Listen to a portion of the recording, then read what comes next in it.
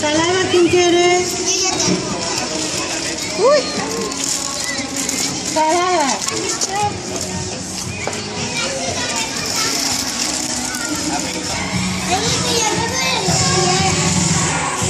Qué lástima que le duelen los pies.